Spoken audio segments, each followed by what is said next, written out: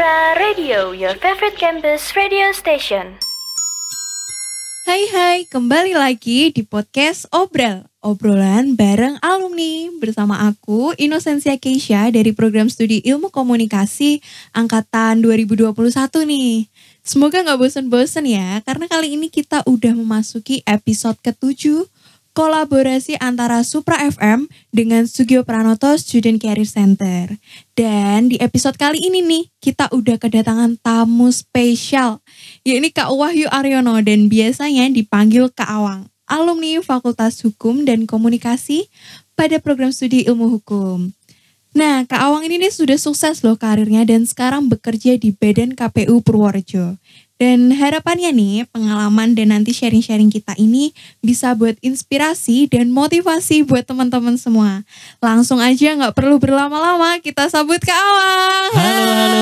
Hai, Kak Awang. Gimana nih kabarnya? Ah, luar biasa, baik. Kisah gimana? Baik juga? Baik banget, puji Wah, Tuhan. Kita udah biasa. ketemu Iya, iya. Kita kayak udah ngobrol lama banget iya, gitu ya. lama banget. Enaknya manggil Kak Awang aja kan? Iya, panggil Kak? Awang aja. Eh, udah tahu belum kenapa kok namaku dipanggil Awang padahal nama lengkapku Wahyu Aryono? Wah, belum tahu nih Kak. Jadi eh, Awang itu inisial karena nama lengkapku kan Ambrosius Wahyu Aryono Nugroho tuh. A-nya Ambrosius, B-nya Wahyu, A-nya Aryono, N-nya Nugroho. Jadi Wah. panggil Awang tuh. Unik banget singkatan gaul. Iya, you are not unique. You are not unik kan katanya Oh, gitu. iya. Tadi dari Purworejo langsung ke sini. Eh, aku kebetulan eh, masih hidup bersama orang tua Oh, di ya. Magelang. Jadi Oh. dari Magelang kemudian mengkhususkan waktu Oh, untuk aduh. acara obral ini. Aduh, eh bener ya acara obral iya, ya? bener, Oke. bener banget. Nggak salah, nggak nyasar. Sebelumnya oke. Keisha Hah? mau ngucapin terima kasih nih Oke, Kak udah hmm. mau ngobrol bareng dan ini tuh suatu kehormatan Siap, siap, bisa siap. ngobrol bareng sama idola artisnya Unika nih. Terima kasih juga. Ini juga menyenangkan bisa kembali ke Unika ngobrol bersama teman-teman di Supra ya. Berasa jadi penyiar lagi nih. Hostnya sih gimana sih Kak? Aku Kamu narasumber. Iya. Oke, langsung aja nih. Oke. Aku mau nanya-nanya Mhm. dan kulik-kulik Boleh? dan pastinya Sobat Sopra ini udah gak sabar dan kepo-kepo nih kehidupan Kak Awang. Oke, siap. Kita flashback ya Kak ke masa lalu. Kayak, Oke, siap. kayak siap, lagu siap. loh masa Apa tuh? lalu. Kok gitu jadinya? Oke, oke gimana gimana? Keisha mau tahu nih dulu Hmm. tuh waktu masuk kuliah Kak Awang tuh kenapa sih kok milihnya Unika? Oke, kenapa milih Unika itu sebetulnya panjang ya ceritanya. Karena dulu eh zaman aku SMA itu eh aku mendaftar di banyak PTN. Oh. Sebetulnya banyak banyak PTN. Tetapi ceritanya gini nih. eh dulu kan di SMA ketika zamanku itu yang bisa ikut SNMPTN itu adalah berdasarkan jumlahnya itu berdasarkan akreditasi sekolah. Oh. Nah kebetulan sekolahku itu semuanya bisa ikut. Lalu di SNMPTN aku daftar di dua jurusan, kedokteran dan hukum. Tapi ternyata tidak keterima nih. Terus aku coba SBMPTN. Terus kemudian di SBM juga sama, aku nyobanya hanya kedokteran. Karena kalau hukum kan lintas jurusan ya, aku dari Hmm. IPA, aku nggak mau belajar lagi gitu. Nah kenapa kok aku ambil kedokteran, itu sebenarnya karena orang tua gitu Aduh, kan. ini. Karena orang tua pengen aku jadi dokter gitu kan sampai UMPTN nih aku masih berusaha untuk jadi dokter tapi ternyata semuanya tidak ada yang terima Terus lalu sampai pada satu titik aku bilang maaf pak ini saatnya eh, aku sudah melaksanakan mencoba untuk menjadi dokter tetapi bukan jalanku ternyata sekarang gantian mama dan papa yang mengikuti aku aku pengen kuliah hukum nah saat itu sebetulnya ketika aku cari-cari ya universitas yang punya eh, jurusan hukum baik yang masih membuka pendaftaran hanya tinggal Unika Sugio. Pranoto. Dan kebetulan hari Sabtu aku tes, diterima hari Sabtu, Seninnya sudah PTM gitu. Langsung Iya, NIMku kan 117. Kalau dulu kalau nggak salah seangkatanku itu 123. Wah. Jadi sudah mepet-mepet gitu iya. ya Meskipun langsung masuk. lulus ya tetap jadi yang nomor satu gitu. Aduh, iya nih. Terus itu tuh sempet bimbang gak sih kak waktu milih ilmu hukum gitu? Kalau milih universitasnya dan jurusannya aku nggak bimbang. Karena dari dulu aku pengen hukum sebetulnya. Kenapa kedokteran kan cuma gara-gara pengen nuruti orang tua aja ya. Iya. Dan kenapa aku mantap dengan Unika ya karena aku tahu reputasinya baik, akreditasinya A gitu loh. Meskipun aku belum kenal dosen-dosennya gitu. Iya. Dan memang sampai saat ini aku tidak menyesal kuliah di hukum gitu loh. Luar biasa menurutku. Dosen-dosennya juga eh, menginspirasi. Keren Iya. banget sih, ini kan juga akreditasinya A. Iya ya, sekarang sudah A juga ya. Iya, sejak dulu sih ya. Aku lulus untungnya juga sudah A. Dan itu memudahkan cari pekerjaan ternyata. Oh, iya, iya, iya, jadi iya. mulai dari program studi, fakultas sampai universitas kalau akreditasinya A memudahkan kita cari pekerjaan. Oh, terus tadi tuh Kak, itu kan Hmm. sempat kedokteran. Itu Ya. sempat ada pergolakan gitu gak sih Wah, antara ya. orang tua Iya, gitu. wah, itu- Gimana itu, itu- ceritanya? Menyenangkan sekali kalau diingat-ingat. Kalau diingat-ingat Iya. menyenangkan ya. Kalau dilakukan kemarin ya bikin galau juga. Iya, Kalau iya. sekarang overthinking mungkin ya. Jadi memang apa ya eh tidak mudah mengkomunikasikan keinginanku dengan orang tua karena berbeda gitu loh. Ya memang kemudian konflik ya. Dalam Iya. arti konflik berbeda pendapat antara orang tua dengan aku kan. Tapi akhirnya ya bisa terselesaikan. Prinsipku hanya satu sih waktu itu sumbut kalau bahasa orang Jawa tuh sumbut. Sumbut tuh, tuh artinya ya kalau kamu sudah memilih pilihanmu ya kamu harus konsekuen gitu. Iya. Karena aku sudah memilih dihukum ya aku buktikan besok ketika aku wisuda aku akan menempatkan orang tuaku di tempat duduk khusus. Jadi wisudawan terbaik maksudnya gitu. Itu cita-cita aku dulu. Ya sudah aku lakukan itu dan berhasil gitu loh. Artinya pilihanku untuk masuk hukum bukan masuk kedokteran adalah pilihan yang tepat. Berarti pembuktian gitu iya, langsung nah, laki pembuktian, gitu. bener, iya, bener. Pembuktiannya itu harus di situ gitu loh. Karena aku udah milih sendiri kan. Berarti emang hobi kak, kakak tuh dulu kayak ngafalin pasal gitu. Ah. Gimana itu? Dari dulu tuh aku selalu bingung ya kalau ditanya hobiku tuh Iya, apa, gitu ya. apa? Tapi jadi inget ini kata-katanya Pak Beni. Kenal Pak Beni kan? Kenal kenal. Oke. Pak Beni itu dulu pernah bilang fakultas kita itu namanya adalah fakultas hukum ya dan komunikasi ya. Bukan fakultas undang-undang. Maka sebetulnya lulusan hukum itu kalau ditanya ya bukan kemudian hafal pasal atau enggak gitu kan lebih pada memahami bagaimana sistem hukum, bagaimana itu diterapkan dan sebagainya kan. Kalau ditanya hobi sebetulnya lebih ke membaca ya. Aku Iya. lebih baca. Apa pun aku baca sih sebetulnya. Oh, ya. iya. Di mana pun dan apa pun aku baca di lampu merah ada tulisan berjalan aku membaca Oh, di tulisan ini apa bak truk biasanya di belakangnya Oh, kan iya, ya Ta, iya. ada kutunggu jandamu Aduh. misalnya kayak gitu kayak gitu. Eh pulang malu tak pulang rindu Aduh. kayak gitu gitu. sampai di kamar mandi Iya. juga nggak kak di kamar Nah mandi? itu di kamar mandi itu juga iya kan sambil nunggu ya. Iya. Kamar mandi kan ada masa-masa menunggu yang membosankan Iya, kadang ya. Ngafalin komposisi odol gitu. Jadi sampai merek Cido, merek Ember, Kloset itu. Selain main ini nih, kadang kan main yang apa Cido diblebek-blebekin gitu. Oh, iya. Iya kan? Iya, iya, iya. Kalau gabut di kamar mandi gitu sambil baca-baca gitu, ya hobiku membaca dan menulis. Oh iya. Dulu pernah iseng-iseng nulis dan ternyata dimuat di Kompas, harian Kompas. Wih, Eh, nulis apa tuh kak? nah, dulu itu ketika ada mau pemilu 2014, Kompas membuka kesempatan bagi seluruh mahasiswa di Indonesia untuk memberikan opini tentang debat calon presiden dan wakil presiden. Wih. Dan waktu itu aku menulis judulnya bukan ring tinju. Dan ternyata itu dimuat. Ya meskipun hanya artikel kecil gitu loh.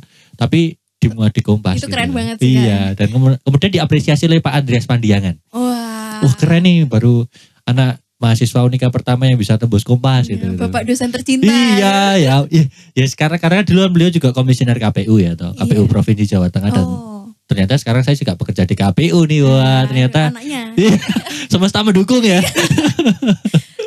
suka nulis surat cinta juga gak sih kak? Eh, surat cinta udah gak zaman nih, Oh iya, kalau sekarang udah gak zaman, iya. ya kan. Sekarang sih suka menulis di WA saja. Oh, gitu. iya, iya. Tapi kalau sekarang sukanya nulis refleksi. oh, Jadi kena- entah kenapa aku suka merefleksikan ya banyak hal ya. Jadi kalau misalnya uh, habis melakukan sesuatu selalu ada evaluasi-evaluasinya ya. Kayak- Kadang muncul Oh, berarti kayak di itu. jurnal gitu iya, refleksinya ya kayak apa. kalau dulu ya buku harian lah Oh. gitu. Tapi sekarang di HP aja Aduh gitu. rajin banget nih. Aduh Gak tahu kenapa nih. ya. Ih, tapi aku dulu ini juga soalnya ketika kuliah rajin nyatet. Oh, Kenapa? Karena aku belajarnya juga dari nyatet. Jadi kalau hanya mendengarkan itu gak bisa gitu. gak loh. masuk gitu ya Iya. kak. hanya membaca nggak bisa harus nyatet gitu dan dulu langganan banget ketika mau ujian catatanku dipinjam di mana-mana gitu Oh. udah tulisannya bagus gitu Aduh. kan komplit gitu jadi Bayar gak itu, Kak? enggak lah cuman mungkin menolong banyak teman-temanku Iya, yang kemudian benar. bisa nilainya baik ya Iya. itu sombong dikit sih nggak Iya, Nggak masalah apa-apa, nggak apa-apa, boleh. iya Nggak kan ada boleh yang larang. dan aku senang. Dan aku senang Iya. ketika banyak orang sebenarnya aduh uang catatanmu kok dipinjam-pinjam boleh sih? Ya kenapa enggak gitu loh. Meskipun dia mungkin nanti nilainya lebih baik dari aku atau sama gitu ya menurutku nggak masalah kok. Karena itu menentukan level seseorang. Oh, bagiku itu permukaan banget sih hanya melihat orang dari belajar dari catatan pinjam gitu. Iya. alah itu urusanmu. Tapi aku tahu levelmu segitu. Ini loh aku dapat nilai segini tapi nyatet sendiri. Level kita berbeda, sorry. Iya. Gitu loh maksudnya. Iya, iya. Sana akreditasinya B, aku A gitu loh. Gitu. Kayak lebih baik gitu. Maksudku gitu loh. Jadi nggak masalah sih kalau Wah aku. keren banget Iya. sih ini Kak Awang. Terus Kak jurusan ilmu hukum tuh sejalan gak sih Kak sama pekerjaan di KPU sekarang ini Kak? Ya, kalau ditanya sejalan atau tidak, yang sekarang sejalan sekali gitu. Dulu ketika aku belum bekerja di KPU kan pernah bekerja di bank kisah. Iya. Nah, ketika aku bekerja di bank itu aku gelisah karena pekerjaanku ternyata tidak banyak menggunakan keilmuanku. Jadi kayak berasa eman-eman banget gak sih kamu lulus kumlot lulusan terbaik tapi gak digunakan gitu. Kayak nyasar gitu. ya ampun sombong lagi. Boleh kok. nah gitu kan. Tapi ternyata Tuhan memberikan jalan kemudian aku di KPU dan ternyata ketika aku masuk eh, terhitung mulai tanggal 4 Januari 2021 tugas pertamaku adalah beracara di Mahkamah Konstitusi. Wih. Waktu itu di sejawa Tengah ini hanya ada tiga KPU yang digugat di Mahkamah Konstitusi, Kabupaten Purworejo, Kabupaten Rembang, dan Kota Magelang. Eh, karena ya apa ya gugatannya tentang pemilihan kepala daerah di tahun 2020 pilkada serentak gitu.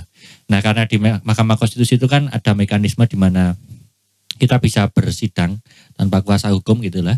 Akhirnya Kabupaten Purworejo memilih itu dan satu-satunya KPU se-Indonesia yang bersidang di Mahkamah Konstitusi kemarin yang tidak menggunakan kuasa hukum adalah KPU Purworejo. Jadi waktu itu saya langsung praktek nih, praktek Wah. untuk apa eh, keilmuan gitu loh. Jadi mulai membuat jawaban, menyusun barang bukti, menyusun argumentasi dan sebagainya. Karena dulu kan di hukum sampai sekarang ya ada yang namanya lab hukum. Di situ kita belajar bikin jawaban, apa pers- persidangan juga gitu, sampai kemudian menyusun barang bukti dan sebagainya. Dan itu langsung aku praktekkan gitu loh di di pekerjaan pertama aku gitu. Berarti seru banget ya Kak, sesuai passion banget. Iya ya. serunya sesuai passion ya. Tapi akhirnya ketika menghadapi hakim ya pusing juga gitu loh. Karena ih gila profesor-profesor gitu kan. Kita harus menghadapi menyusun argumentasi gitu. Jadi ya ya dulu pertama kali sampai Purworejo langsung bolak-balik Jakarta Purworejo kan harus menyiapkan itu.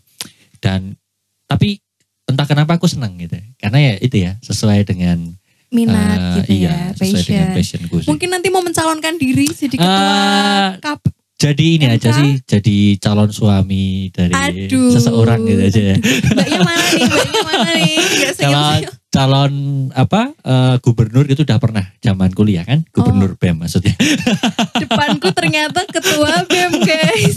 Ih dulu aku mengusulkan nama ketua BEM fakultas itu gubernur seharusnya. Oh. Biar lebih keren lah. Oh, Masa iya. ketua nggak ada bedanya sama ketua RT nanti.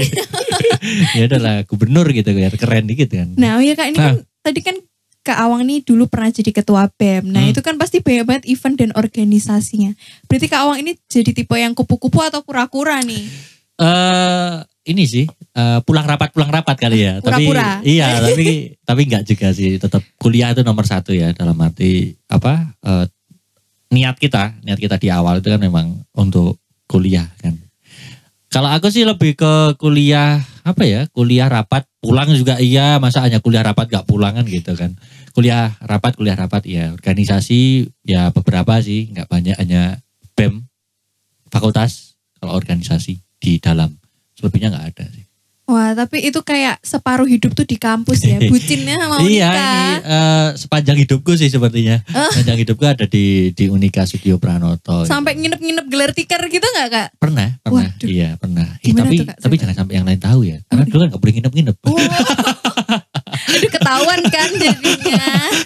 ya tapi tetap berizin maksudnya Oh. tetap berizin kami tetap izin kalau ada kegiatan yang memang harus nginep ya harus nginep gitu loh Wah, berarti emang Kak Awang nih sibuk banget ya. Yang nggak sombong sih Terus kalau di luar kampus gitu ada apa? ya kegiatan kalau di luar kampus sih aku lebih ke ini ya ngurusin gereja kali ya Wih. Eh, jadi pernah di 2014 dulu jadi ketua Mudika SMA Negeri 1 Magelang karena aku dari sana.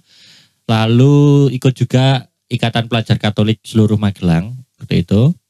Kemudian di 2017 berkesempatan untuk ikut jadi peserta Asian Youth Day. AYD itu se apa perkumpulan pertemuan orang muda Katolik se-Asia. Wih, keren banget. Lalu di 2018 sampai 2021 dipercaya menjadi wakil ketua Komisi Kepemudaan Kevikapan Kedu. Wah, Iya. OMK selalu di hati. Iya benar. Harus itu ya. Terus nih Benar, kegiatan dari kegiatan-kegiatan tadi kan banyak banget kegiatan yang Kak Awang ikuti. Nah itu ada hal nggak sih Kak yang bisa diambil apa aja? Eh, banyak sih sebetulnya ya yang yang mau diambil dari kegiatan-kegiatan itu kan.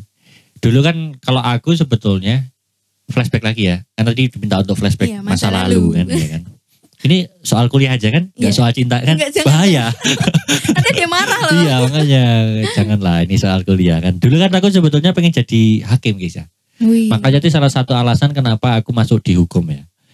Kemudian eh karena setelah aku lulus itu ternyata kok gak ada bukaan hakim. Makanya aku mencoba daftar di KPU. Kenapa KPU? Karena sebetulnya perintah dari undang-undang itu disuruh membentuk yang namanya peradilan khusus pemilu. Pikirku dengan aku masuk KPU lalu aku bisa menjadi hakim di peradilan khusus itu. ya. Tapi ternyata tidak semudah itu Ferguson Iya. gitu kan. Tapi cita-cita untuk jadi hakim tetap ini sih, tetap ada gitu loh. Mudah-mudahan suatu saat tetap bisa tercapai atau Amin pasti dong. Nanti kalau ada diundang nih kru-krunya makan-makan. diundang itu untuk bersidang jadi tersangka loh berarti. Mau. nah, kan pengen jadi hakim itu ya. Terus eh, masuk ke hukum karena pengen jadi hakim. Ternyata, ternyata gak kesampaian, belum kesampaian itu. Terus akhirnya berproses lah ya, berproses. Akhirnya pernah juga gabung di Supra Wih, di tahun 2015 sampai 2017. jadi apa nih Kak? Dulu kreatif program, Iya, masuknya kreatif wow. program ya. Karena katanya suaraku abu-abu. Dulu kalau belum belum pernah ngalami ya untuk menyeleksi orang ya. Belum Jadi kalau- online nih. Nah, belum ya? Oh iya. Masa pandemi ini ceritanya. Jadi kalau kita itu dulu masuk lalu take vokal ya, ada kan take vokal itu ya? Ada, ada. kan? Itu kan nanti akan dipilah-pilah mana yang suaranya hitam, putih dan abu-abu. Aku masuk abu-abu. Artinya suaraku itu punya modal tetapi masih perlu dibentuk gitu loh. Akhirnya aku dimasukkan sebagai kru di kreatif program. Ini seperti teman-teman di sini. Tapi kalau aku dulu nggak ngurusi teknisi seperti ini gitu. Wah, apa itu ya? ada ada khusus Oh, khusus. kreatif program tuh hanya ngurusin program-program apa saja di Supra Radio gitu loh. Hmm. Aku masuk di situ tahun pertama jadi kreatif program, tahun kedua dipercaya teman-teman untuk menjadi ketua.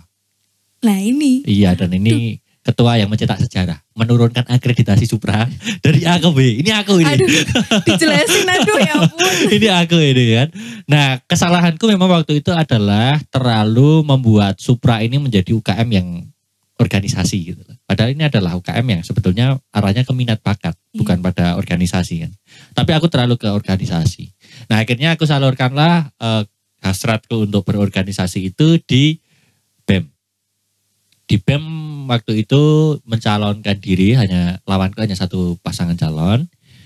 Eh, kami hanya terpaut lima suara, Oh, lima baris tapi. udah percaya lagi. Mencapai- Lima baris. menjabat berapa tahun tuh kak? hanya setahun doang, nggak karena peraturan menteri nggak boleh lebih dari satu tahun kan? Enggak lima itu. tahun gitu. Ya pengennya kalau bisa 32 tahun ya. eh, tapi kalau 32 tahun jadi mahasiswa abadi dong ya. Sesepuh ya. Iya. Satu tahun cukup lah waktu itu. Lalu aku mulai setelah jadi BEM di 2017-2018. Kemudian geser ke kuasa hukum KPU-nya BEMU. Wih. Waktu itu pernah untuk membuat peraturan perundang-undangannya untuk aturan pencalonan. Sampai kemudian di 2019 tahunku terakhir itu juga masih diminta. Jadi dua tahun menjadi kuasa hukum di KPU Hmm. eh, Unika dan ternyata kerjanya juga di KPU gitu. kan. Akhirnya dari situ ya memang banyak eh, pengalaman sih di kampus apa? Kampus ministry. Iya, Dulu juga ikut aku di PKM, iya. tim pelayanan kaum muda itu yang bagian ngisi retret dan sebagainya. Wah, seru Dulu banget. Iya sering sering ngisi retret itu motivasinya dulu cari bribian sih sebetulnya dulu sekarang udah punya pacar enggak lagi iya. takut ya aku Takut ini mana ini? dulu ikut di itu PKM juga terus eh ya kegiatanku cuma itu sih sepertinya terus apa ya banyak hal yang didapat ya terutama eh apa ya bagaimana kita menjadi orang-orang yang lebih dewasa sebetulnya organisasi kemudian kegiatan-kegiatan kita itu kan juga mendewasakan kita pernah juga dulu eh, selain organisasi diminta untuk jadi MC wisuda sejak Wah. 2016 sampai 2019 dulu. Kok bisa sih kak? Gimana Eh, tuh caranya? Dulu tuh pernah aku jadi moderator lomba debat antar SMA di fakultas. Ya. Kebetulan ada Pak Agus Humas Unika yang nonton, lalu eh, tertarik dengan suaraku gitu. Pandangan pertama. Iya, terus akhirnya aku diminta untuk seleksi dan ternyata cocok jadi MC wisuda. Hmm. Ya sudah banyak sih yang aku wisuda itu dulu ribuan mahasiswa sih. Wah, di, di wisuda kawang. Karena ketika jadi MC wisuda kan harus menyebutkan namanya satu Iya. persatu ya. Apal Kan? nggak? Enggak apa lah sampai sekarang gitu loh. Ya karena prinsipnya habis baca lupakan, habis baca lupakan gitu. Ya sempat bingung ketika aku mau wisuda terus siapa besok MC-nya kan. gitu. Nah, dari pengalaman-pengalamanku berkegiatan, berorganisasi itu kan eh, mendewasakan. Saya rasa mendewasakan kita semua untuk eh, apa ya berperilaku. Aku selalu menyebutkan misalnya seperti man to man communication. Hmm. Bagaimana kita mencoba berkomunikasi dengan orang lain, dengan orang yang lebih tua, dengan eh, rektorat, dengan dekanan dan sebagainya itu selalu belajar dari organisasi dan terutama soal mindset. Mindset pasti akan eh, berbeda kok orang yang sering berorganisasi, pernah berorganisasi dan juga yang tidak sama sekali itu pasti akan berbeda. Wah, berarti juga melatih komunikasi, menambah pengalaman relasi Iya. ya kak. Dan bukan hanya dengan ini ya, dengan atasan. Ya sekarang masih digunakan ya kalau dengan atasan ilmu dari organisasi dulu. Tetapi juga misalnya dengan pacarmu Lah ini sudah punya. belum belum. Oh ya, Aduh, silakan Aduh, sahabat Supra. jadi promosi. Siapa tahu habis ini Aduh. bisa hubungi nomornya. Ya, nomornya gue ini. Nah, nanti uh, pasti akan belajar juga dari organisasi soal bagaimana mengelola emosi, bagaimana berpacaran dengan baik gitu kan. Lalu bagaimana nanti harus ngobrol dengan orang tua pacarmu. Izinnya. Hari iya gitu kan mau ngajak nonton tapi kok malu-malu itu kan perlu belajar misalnya juga uh, perlu ngobrol dengan orang tua memperkenalkan Wah, pacarmu ini. itu kan juga juga perlu itu belajar dari organisasi juga Iya, bisa iya. kan. Garis Iya. bawah ini Iya. buat laki-laki semuanya. itu menyenangkan sekali gitu loh. Jadi kita belajar banyak hal ya dari organisasi. Kalau saya sebagai uh, yang sekarang bekerja di dunia perpolitikan, menurutku politik itu kan bukan hanya yang soal praktis-praktis kepartaian dan sebagainya, tapi politik kan adalah cara strategi untuk mencapai tujuan. Dan sebetulnya sejak kita ada di bangku perkuliahan kita sudah belajar itu. Dan itu adalah salah satu buah kita belajar dari organisasi juga kita kan berpolitik. Misalnya, kok kita mau mengelola kegiatan, tetapi kok ternyata kegiatannya kurang uangnya. Lalu kita harus bagaimana nih politik kita seperti Wah. apa? Itu kan perlu Iya, belajar ya toh. Bagaimana caranya dapat tambahan duit, bagaimana negosiasi supaya sponsor masuk dan sebagainya. Itu kan perlu juga. Gitu Perlu. Ya sponsor silahkan masuk. Atau Supra lagi mau bikin Iya. kegiatan. Butuh deh kayaknya. Oh, iya iya iya, pantesan ya. Nah, berarti bener banget manfaat dari ikut organisasi dan waktu itu nggak bisa diulang kan ya, iya, Kak? waktu Jadi harus bisa diulang. memaksimalkan Iya, terus Daripada menyesal kan. menyesal. Dan waktumu kan di Unika 7 tahun ya. Kok lama banget? Kan enggak aturannya 7 tahun. loh, Enggak ya? enggak tiga tahun aja. Oh, tiga tahun. lama angkor jadi. ya, siapa tahu mau memaksimalkan jumlah maksimal apa durasi waktu kuliah 7 tahun di Aduh sini. kok maksa ya kawan. nah ngomongin soal waktu nih, Yes. aku jadi kepo nih. Mhm. Waktu Kak Awang lulus kuliah lah ini, Kak Mhm. Awang tuh langsung dapat pekerjaan Oke. atau nunggu atau gimana nih Kak? Boleh dong ceritakan. Eh, aku sebetulnya kan lulus bulan September dan mulai bekerja di bulan Februari. Hmm. Dulu aku mendaftar ke mana-mana nggak keterima Gisa. Sedih Hmm. banget ya. Ya Ini kasih background sedih bisa nggak? boleh boleh. Eh, nah, karena di mana-mana nggak keterima, tapi ini untungnya adalah yang baik dari Unika dan beruntungnya sahabat Supra tentu berkuliah di Unika. SSC kita, SSCC kita itu punya eh, jejaring dengan para perusahaan-perusahaan yang mencari pekerja. Nah, biasanya mereka mencari lulusan-lulusan dari Unika. Nah, saya beruntungnya adalah bekerja di perusahaan yang eh, mencari pekerja dari lulusan-lulusan Unika dan saya langsung ditawari. Jadi pengalaman saya bekerja adalah bukan saya yang melamar, tapi perusahaan itu yang meminta saya mau nggak gitu. Berarti dicari ya. Waduh, Dicari, mana gitu. nih Kak Awang? Nah yang saya yang saya sendiri cari malah nggak ketemu gitu loh. Oh. Ya kadang hidup itu se ini ya selucu itu gitu loh. Kadang kita berusaha mencari, eh ternyata jodohnya justru Ini, diberikan. jalannya Iya. ini, gitu Mungkin kamu juga begitu. Aduh, gitu. kembali lagi ke promosi. Kan katanya aku harusnya kamu narasumbernya Iya, tadi. iya sih. Kan Waktu itu gitu. kan berarti nggak mulus-mulus aja ya kak, nggak langsung kan? Iya, nggak nggak langsung istilahnya keluar pintu masuk pintu selanjutnya enggak. Masih ada waktu untuk apa? eh, diam di rumah gitu masih ada. Itu ada kesulitan-kesulitan nggak sih kak buat dapat pekerjaan itu atau ya? Ya kalau kesulitan sih aku merasa soal ini ya kadang channeling channelingnya ya. Oh. Channeling aku, aku merasa evaluasinya di aku, di aku Oh. dalam arti aku kadang merasa em, kok aku susah ya mendapatkan info-info loker gitu. Aku merasa bahwa oh mungkin ini karena mainku kurang jauh mungkin ya. Karena kalau aku bisa main semakin jauh tulanku adoh gitu kan. Aku mungkin bisa menemukan orang-orang yang bisa menunjukkan jalan di mana aku bisa bekerja. Dan mungkin saja buat teman-teman nih eh, bekerja hari ini sudah dapat pekerjaan itu karena channelingnya dia di masa lalu. Itu kan bisa. Iya. Nah, aku merasa kurang banyak di channeling-channeling itu. Itu kesulitanku di situ sih mencari lowongan-lowongan gitu. Nah, untungnya ada rekanan dari perusahaan yang punya relasi baik dengan Unika gitu loh. Jadi ya sudah akhirnya bisa berjodoh. Cintaku tidak bertepuk sebelah tangan. Aduh, iya. Pernah ngerasain kan cinta bertepuk sebelah tangan? Nggak, jangan sampai lah. Oh, belum pernah. Jangan sampai. Oh, ih yang benar. Aduh, serem nih. nah, Kak Awang nih waktu dapat pekerjaan di KPU ini kan pasti sesuai passion kan? Yes. mm. Nah itu range-nya berapa nih? 1 sampai 10 tuh kecocokannya dengan passion. Aku berada di sembilan lah. Wah, cocok Iya. nih jadi ketua langsung. Wah, itu kan janganlah. Kalau jadi ketua KPU enggak lah. Aku rasa ya sudahlah.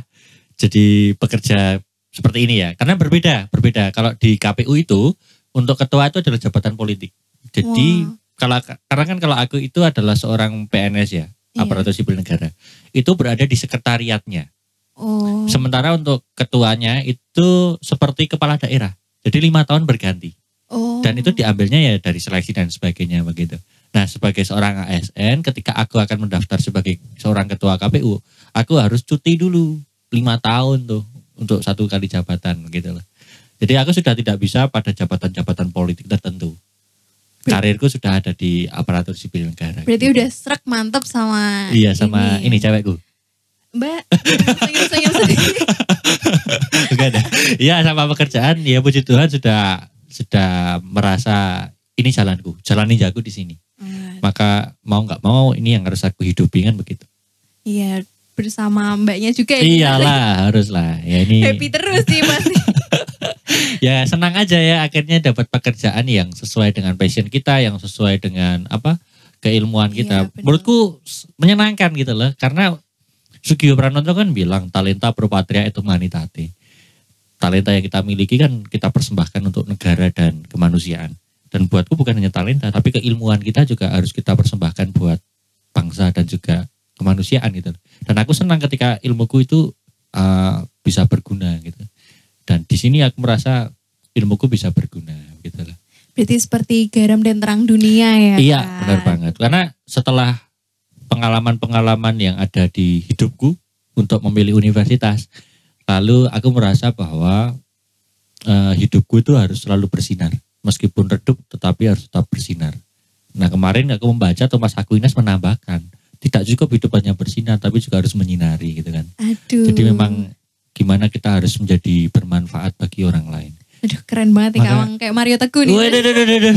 Ih masih zaman ya Mario Teguh ya? Iya, Tahu loh ini Sobat iya. Supra juga tahu. Kalau sekarang sih lebih motivatornya Deddy Kobuzer. Oh iya. Oh boleh. Close the door. ini juga nih. iya, seperti itu. Tapi nih kayak kita kan udah cerita-cerita banyak banget tentang dunia pekerjaan dan Mhm. ini kan selama pandemi tentunya Mhm. orang-orang tuh bingung gitu loh Kak memilih pekerjaan tuh mending yang relasional atau Mhm. yang sesuai passion gitu. Kalau menurut Kak Awang tuh gimana tuh? Yang rasional itu sesuai passion ya. Iya. Gitu ya. ya saya rasa eh, tidak bisa kemudian kita langsung menentukan dua Iya, pilihan itu. Mematokkan. Iya, karena eh, latar belakang seseorang akan sangat berbeda. Kondisi seorang ketika menghadapi yang semacam itu berbeda. Dan mungkin ketika Keisha dihadapkan pada situasi itu dan Awang dihadapkan pada situasi sama, pilihan kita mungkin berbeda. Dan kita diajak untuk menghargai pilihan-pilihan itu. Tetapi apa pun pilihan teman-teman yang mungkin saat ini sedang galau, overthinking, memikirkan orang tua kok sepertinya mengarahkan aku ke sana kok aku pengen Wah, yang lain iya. misalnya kayak cerita Awang dulu misalnya itu Ya selama kita mau menentukan pilihan itu ya riset dulu lah. Riset dalam arti pilihan kita seperti apa, konsekuensinya seperti apa, resikonya apa. Supaya nanti kita tidak menyesal ketika kita sudah memilih pilihan itu. Kalau kata orang Jawa kan sumbut tadi ya, konsekuen. Ketika kita memilih uh, suatu pilihan, tentu kita akan uh, kehilangan pilihan yang lain. Hmm. Kan memang hidup itu kadang seperti itu ya. Kita ketika kita mendapatkan sesuatu di saat yang sama kita melepaskan sesuatu. Di saat yang sama kita kehilangan sesuatu kan gitu. Aduh. Ketika kamu menjawab dia pacarmu, maka kamu kehilangan pilihan-pilihan yang lain. Kan gitu. Iya, ya kan? iya. Udah pernah ngerasain? Kembali lagi ya, kembali lagi ke promosi. Supaya bisa membayangkan gitu loh. Maksudnya kan lebih mudah membayangkan gitu loh.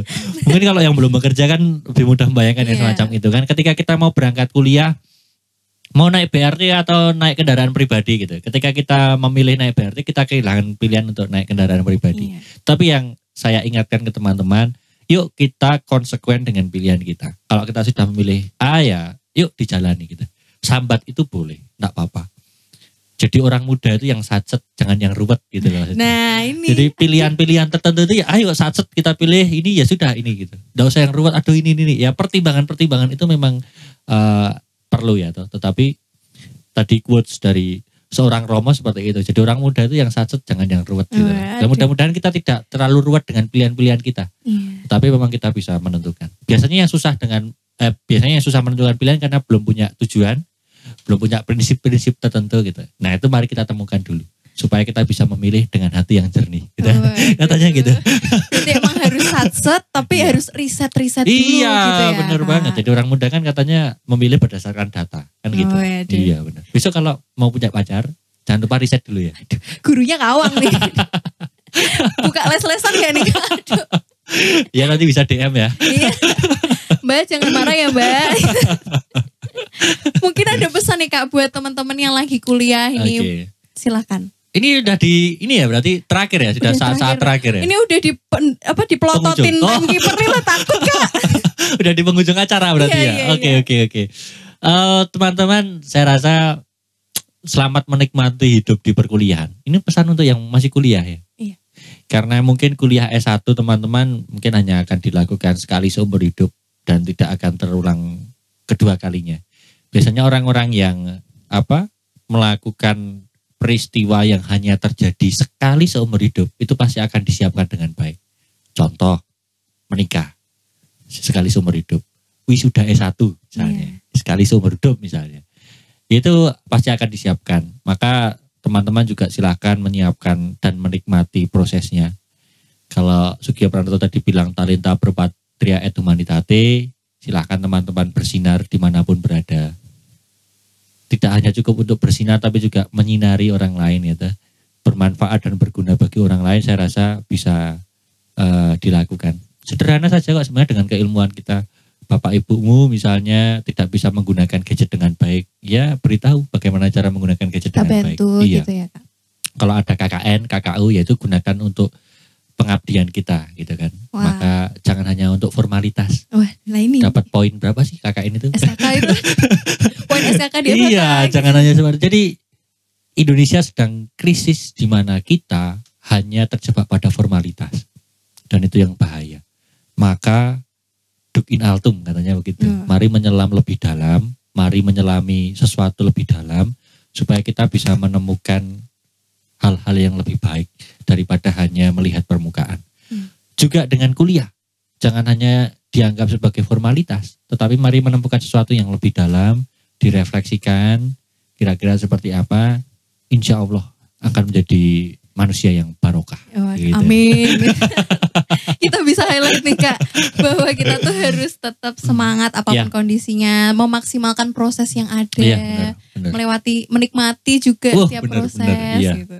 Aduh kak, Kisah menikmati ya kuliah di wah komunikasi. seru banget menikmati ya, banget, meskipun walaupun online. online, Oke, gak apa-apa. mahasiswa online.